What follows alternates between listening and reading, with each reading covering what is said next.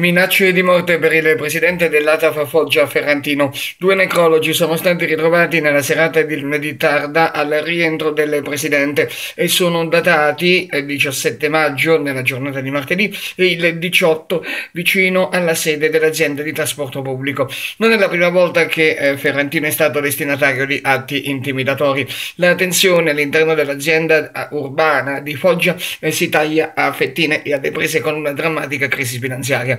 Mercoledì è in programma il consiglio di amministrazione della società che ha convocato i sindacati per l'ultimo tavolo di confronto. Sul posto sono giunti gli inquirenti della polizia per i rilievi e eh, probabilmente un aiuto potrebbe arrivare dalle telecamere delle attività commerciali ubicate nel quartiere dove abita il presidente dell'ATAF, Mimmo Siena, Speciale News.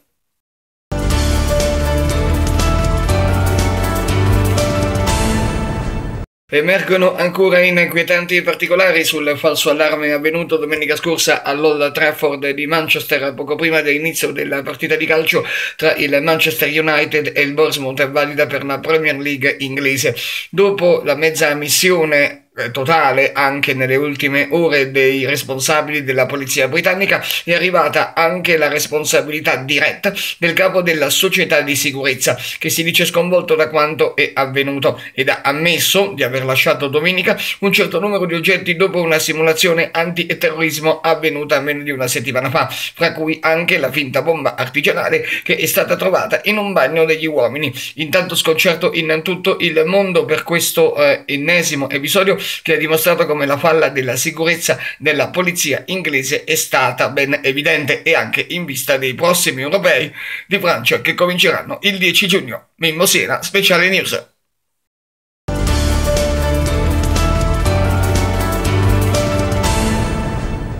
Grande attesa al Palla Castellana di San Severo per la seconda partita dei quarti di finale della promozione in Serie A2 in cui è impegnata la cestistica San Severo.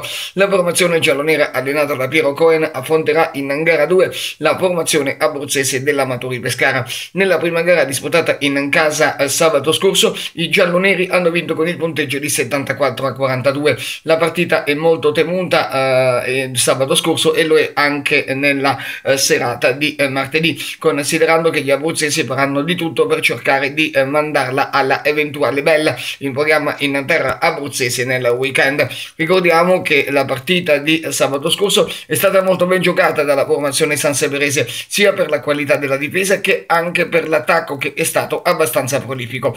Tutti in campo a partire dalle 21.15. Mimmo Siena, Speciale News.